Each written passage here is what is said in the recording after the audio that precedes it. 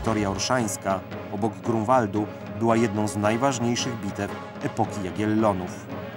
Czy potrafiliśmy strategicznie wykorzystać Wiktorię Orszańską? O tym dziś między innymi będziemy rozmawiać. Spór o historię. Orsza 1514.